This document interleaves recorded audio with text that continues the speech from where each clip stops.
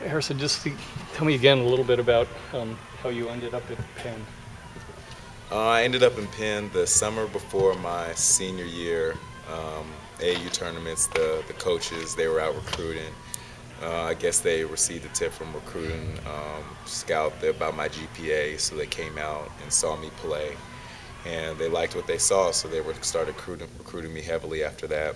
Throughout that whole summer, they were at every game and you know, made an offer to me. You know, it wasn't quote unquote athletic scholarships because it was Ivy League, but you know, offered what they could and recruited me. And I ended up went on my visit in October, I think October of my senior year, and you know, I loved it. Just everything they had to offer from, you know, academics. You know, it was second to none being in the Ivy League, um, the prestigious basketball program, and um, just being in West Philadelphia, you know, being in a big city, coming from Victorville, you know, that was a big deciding factor. Um, people don't know a whole lot about Ivy League basketball. They don't, uh, you know, see a whole a lot of it. You mentioned before, like it's not televised out here. But um, tell tell me a little bit about, uh, you know, uh, Ivy League basketball and maybe what people don't know about it. Um, people don't know there's a lot of talent in the Ivy League. There's, you know, it's a little bit more strategic type play. It's not as free flowing. A lot of, a lot of teams run the Princeton offense. A lot of backdoor cuts. Um, a lot of screens. I guess they, the players shoot better in the Ivy League, but I think it, is, it gets a bad rap because they just see it as oh, it's just the academics and it's not athletics. But they don't realize there's a lot of great players that have came out of the Ivy League and every Ivy League team plays a tough schedule and everyone is battle tested. So, you know, like at Penn, we played North Carolina when they were number one both years, my freshman and sophomore year. Um, uh, now they can see Harvard, you know, the schedule they played um, this past season the success they're having.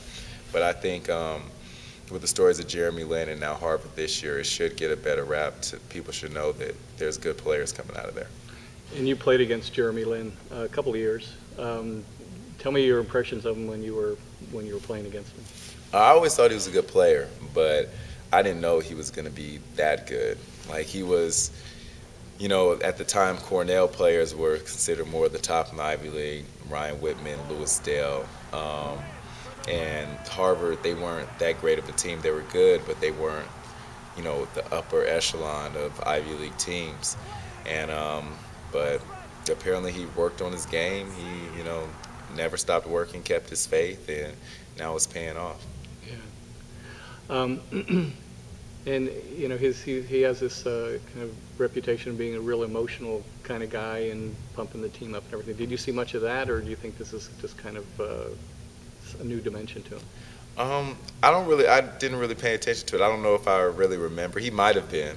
Um, yeah, he might have been real emotional. I don't remember exactly, but you can definitely see his passion now. You know, it, it, exudes in his whole body language when he's playing. But yeah, I don't remember when we were playing back then if he was that emotional. Yeah, cool.